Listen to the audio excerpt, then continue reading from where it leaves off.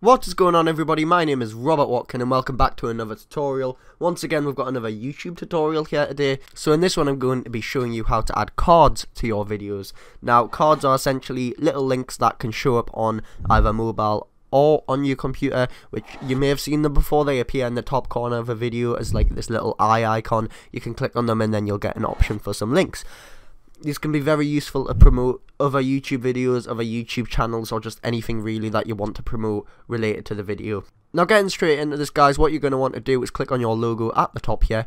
You then want to click into Creator Studio, which will bring you to this page here. And once you are here, you want to go into your Video Manager.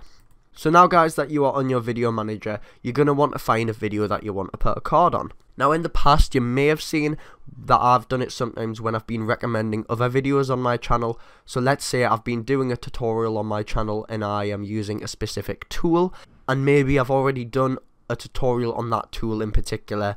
While making that tutorial I may end up going also check out my other video where you can see this tool more in detail and the link will be in the top corner of the screen. Something along those lines. Um, I hope that made sense. That was a bit confusing for me to say.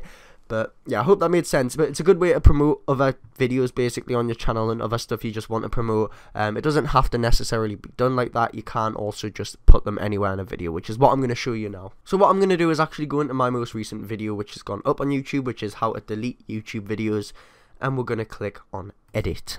And once we've done that, we can see at the top we've got a few options. We can see cards is one of them. We want to click straight into that. What is going on everybody, my name is Robert Watkin and welcome. And then it'll start playing the video, we're just going to pause that for now. But this is the screen where you can add cards. If you've seen my tutorial on how to do end screens, uh, it's a very similar layout to that where you can add the cards on the side of the elements and then you've got your timeline at the bottom. And this is a perfect time to say, if you want to check out that video, click the card in the top right of the screen Yes. okay, now that you've seen that card in this video, I'm going to show you how to add the cards.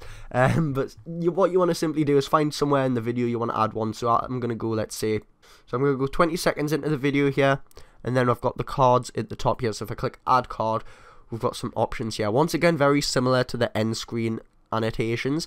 Um, so we've got video playlists where you can promote a video or playlist from your channel the actual channel itself so you can promote a channel but not your channel. This is a link to a different channel.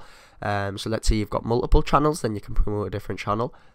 Link uh, polls so if you want to do like a questionnaire type thing you want to get some uh, more participation in the videos then do a poll and if you want to add a link to a different website you can do that. Now bearing in mind not all links will work only certain links will work. I'm not too sure which will but if you have a little play around you'll be able to find out quite quick but for this, we're just going to do video or playlist. So we could click on here, and what we could simply do is just add top 5 hotkeys to speed up your editing. So this was a previous video I made, so we could just add that card, click create card, and then there we go, we've got that in.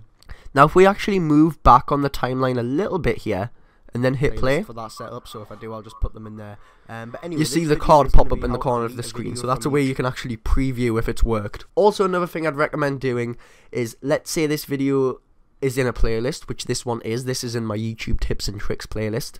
Then you may want to do something like add card video playlist and put on the YouTube tips and tricks playlist. So add add the relevant playlist so people can see where it's from or at least relevant videos and if they're already watching this video it is very likely that they may want to watch other videos of the same type of content um, so I feel like that's a good way to also promote some channel content in a good way as well.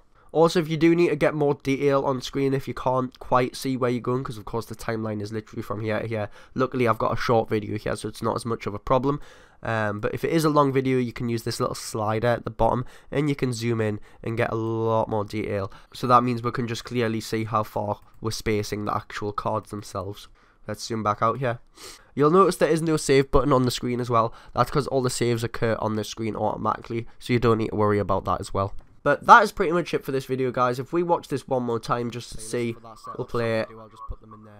And there we go. Suggested YouTube tips and tricks. If the user clicks on that, they'll get this little menu that pops out where they can then click on the YouTube uh, tips and tricks playlist. That is going to be it for this video guys, so if it did help, please leave a like, consider subscribing, and if you would like to see any more tutorials, then just comment them down below, I'm always happy for suggestions. Uh, but yeah, that's it for this video guys, thanks for watching, and I'll see you in the next video of whatever I make. Bye bye.